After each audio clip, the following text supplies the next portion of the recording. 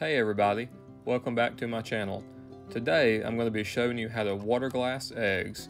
This is an old-timey skill that you can use to preserve a surplus of eggs that you might find yourself with in the springtime.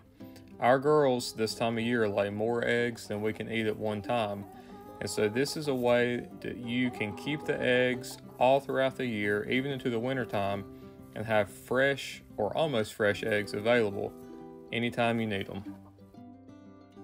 So what you're going to start with is pickling lime. This is the pickling lime we use. We also use it in the summertime for homemade pickles.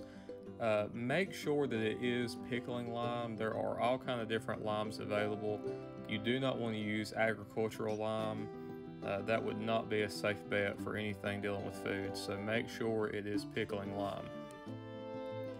So what you saw me do was measure out two ounces of pickling lime using a small scale.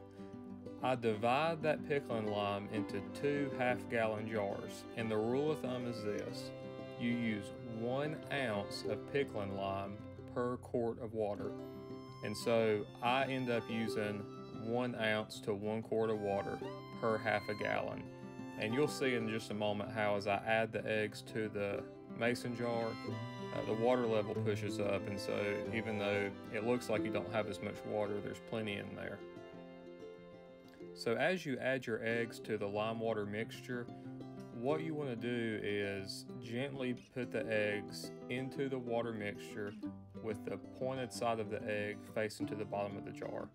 Now you can do this the way I did it with a spoon, tilting the mason jar and letting the eggs slide into the water or you can place your eggs into the jar before you add your lime and water and add that later.